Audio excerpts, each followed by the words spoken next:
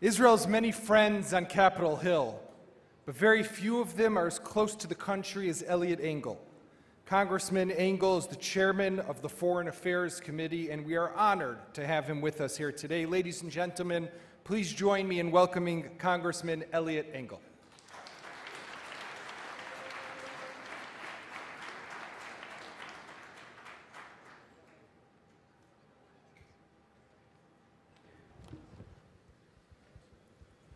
Congressman, thanks for being here with us today. We appreciate it. On Father's Day, you told me earlier that there's only one thing that will bring you out of the house, and that's the state of Israel. So we appreciate it. That's appreciate the truth. That's, that's the absolute truth. Uh, I want to. You just got back from a tour a bit of the Middle East. You were in Israel, Lebanon, elsewhere. I want to start with Iran. You were opposed to the nuclear deal back in 2015. We saw that last week. The IAEA is saying that the Iranians are escalating their nuclear activity. We saw what happened in the Gulf just uh, two days ago with the bombing of those tankers. Do you think there's a chance to really bring the Iranians back to the table to make a better deal? Is that something that's possible? Look, I, I don't trust this Iranian regime as far as I can throw them. Um,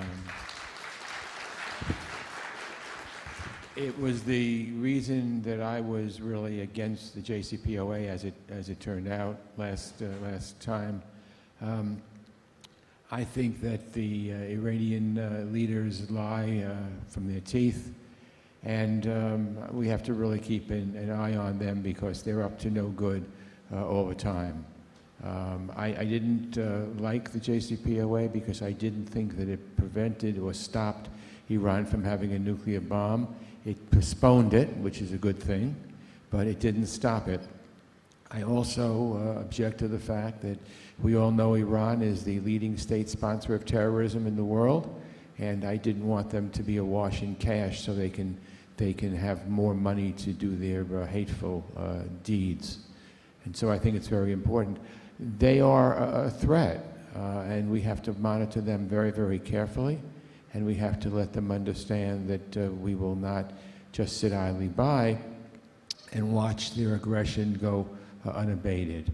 Uh, certainly, Israel's not going to allow it. We have uh, uh, Syria now. Uh, Iran cannot be allowed to essentially expand itself into Syria. And I think that it's very important the United States and Israel continue its coordination to make sure that the Iranian regime is not um, doing the things that uh, we all know they're capable of doing. So I think that uh, it's very important, and we're going to monitor them very carefully. Obviously, there are things happening now that they are, they seem to be whipping things up. We'll see what happens. What would their interest be in fueling the flames right now, attacking those fuel tankers? What, what, what, why would they want to do that? They want a war? I, I don't think that you can look at uh, anything rationally uh, when you look at that regime, and I think that it's very uh, difficult to, to figure out their motives.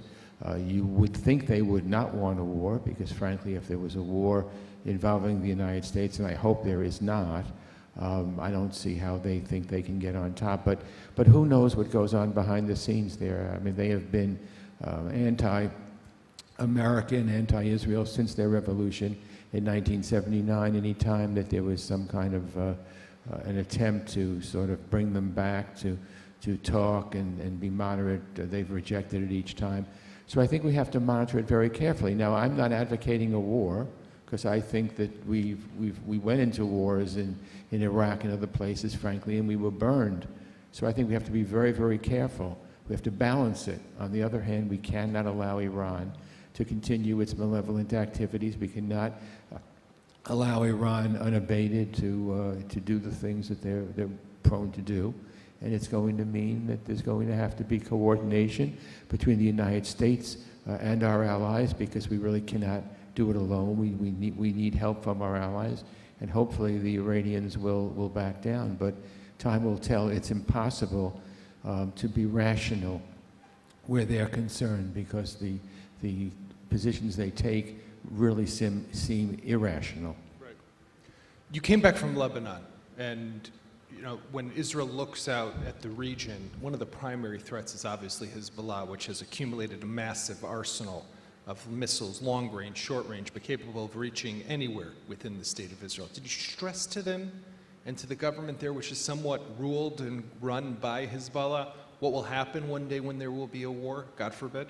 Well, you, yes, I did. And you know there is uh, an alliance between some of the Maronite Christians and, uh, and Hezbollah, which is, which is upsetting because I do know the, the Maronite Christians, and some of them have uh, said to me for years that they would like to see peace in the region, like to see peace with Israel. But uh, unfortunately, what you have in Lebanon, in my opinion, is you sort of have a, you know, a fifth column right in the middle of the country that you, you have Hezbollah, which in many ways is, is stronger than the Lebanese military or the Lebanese institutions. And so as a result, uh, they have to tread very carefully. Now, I uh, said that um, it's totally uh, unacceptable for Hezbollah to, uh, to be treated uh, normally if they're going to continue to espouse uh, terrorism and terrorist activities. You, you know, my argument with the European Union for many years was that you cannot split Hezbollah in the middle and say, oh, there's a good part of Hezbollah where they have schools and, and, and medicines and things like that, and then another side. If you're a terrorist organization, you're a terrorist organization, period. If you're tainted, you're tainted, period.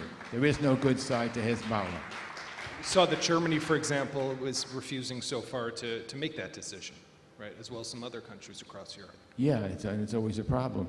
So uh, when, you, when you're also in Lebanon, I'm sure Syria comes up. Assad seems to have retaken control. We know that later this month in Jerusalem, there will be this tri-party meeting between the national security advisors of Israel, the United States, Bolton, as well as the Russian national security advisor. Can Russia be trusted? No. I won't, don't trust Putin as far as I can throw him. Um, I don't trust him, and um, I, I think we have to be very, very, very careful. Uh, so Israel, you know, Netanyahu, who you met with also, what was this just last week or the week before? Yes. You spent an hour with him. Uh, he's developed what seems a close alliance with Putin. Is does the Russian president have Israel's interest at heart? Well, the the uh, relationship with Putin. I mean, the whoever is Israeli prime minister um, has to deal with Russia. Russia is a fact. Uh, it's it's not far from the region. Uh, they control a lot of things. So I don't think any Israeli leader can turn its back on Russia.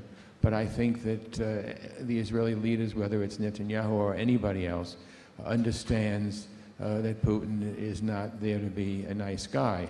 Uh, Putin has his what he wanted. He has his base uh, in uh, in Syria. Frankly, uh, I think that we uh, mishandled Syria to a very large degree. What what's happened there is it breaks my heart. You have Assad being the the butcher of th- thousands, hundreds of thousands of his own people. It's just absolutely disgraceful.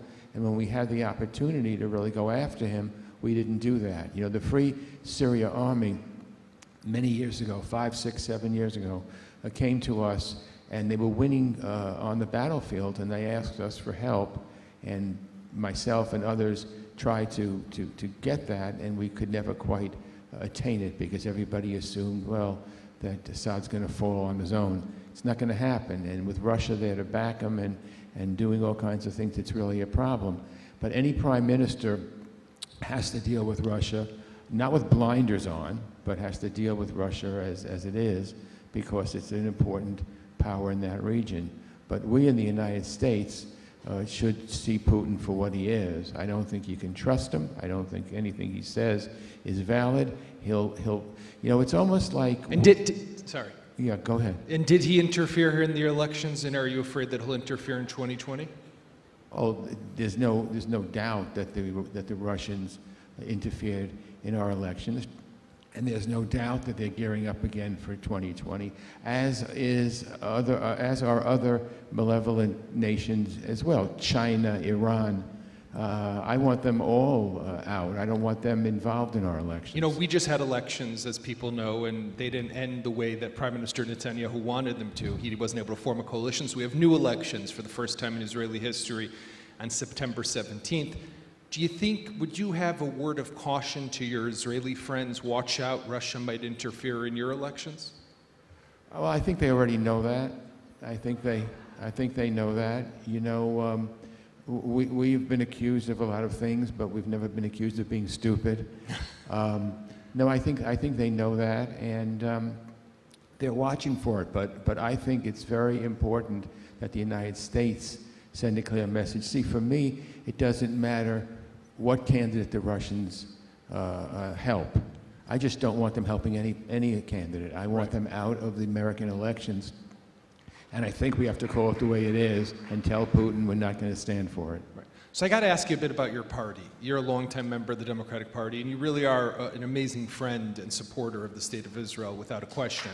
Uh, but we see, we see today what's happening. We see what's happening throughout the party with uh, certain members such as Ilhan Omar, Rashida Tlaib, and others. We saw what happened with the resolution after Congresswoman Omar's comments that were seemed anti, were clearly anti-Semitic, I would say. Uh, there was an attempt to pass a resolution, and, and they couldn't just have it focused on anti-Semitism. What, what do you say to that? What's Well, happening to the Democratic Party? Look, we have to make sure that there is a, a strong majority uh, to help the state of Israel. Israel is the, is the largest U.S. recipient of foreign aid. Uh, there's all kinds of things that were signed under Democratic presidents. I don't think Israel is, is helped by making it a political football. We have to try to make sure that all sides support Israel. Do we have our work cut out for us? Sure we do. But there are 33 uh, Jewish members uh, of con- in Congress, and 31 of them are Democrats. So I don't think Israel's served by making it a political football. I don't care if I talk to Democrats or Republicans, my message doesn't change. The United States and Israel are strong allies. Israel is the only democracy in the Middle East. I stand with Israel, and we should get people to stand with Israel. And when they're wrong, we should call them out. It doesn't matter what party they're from. Um, and I think that we, if we do that consistently, we'll be making the right moves in the right places. And for many years, Congressman, Israel was and received bipartisan support across the aisle, but now things seem to have changed. And I hear from members of your party that depending on who wins, if a Democratic president wins in 2020, there's a chance that the foreign military that Israel gets from the United States could be cut off. We heard one of the candidates who's running for that nomination say just that the other day. So do you think that Israel has maybe made a mistake here? Is there, is, you know, Netanyahu is oftentimes accused of warming up too closely with President Trump. Is that not in Israel's interest? What can Israel do to change the well, I, I, calculation? I wouldn't tell any prime minister what to do, but I would say that I think that it's, it's better to not have Israel a political football, that we want to make sure. Look, look, if Democrats do, do something that's wrong with Israel, I'll, I'll say it. I mean, when we had the thing uh, on the floor with. We had the floor uh, uh, with, with Ilana Omar. I mean, I was as vocal as, as anybody uh, with it. So I, I just think it's important that we not play politics with Israel. I want everyone to support Israel. If there are Democrats that don't, then they have to be educated. If there are Republicans that don't, then they have to be educated. Uh, we, I want to make it so that everybody supports Israel. I want to make, make it so that the United States and Israel continue to have a strong relationship. There are, there are people in the audience who probably didn't like President Obama, but if you take a look at what he did in terms of signing over un, un, uh, much money uh, for, for Israel, is unprecedented. He did that. So I think we can work with Democrats and Republicans to make sure that this U.S. Israel alliance remains strong and, and remains bipartisan. I want to make it, you know, presidents come and presidents go. And prime ministers come and prime ministers go. Maybe not in Netanyahu's case, though, but we'll see. Which? Say- He's been around a while, but you never Oh. know. All right, and even members of Congress come and go, but I don't want to go so quickly. But it's the U.S. Israel relationship that has to be strengthened. So I don't want to play politics with Israel. I want to just do everything I possibly can to make sure that the United States and Israel are one. So no matter who's prime minister or who's president, the U.S. Israel relationship remains strong and viable. Congressman Eliot Engel, thank you very much for being with us. Say Happy Father's Day and thank you. Thanks. Happy Father's Day, everybody.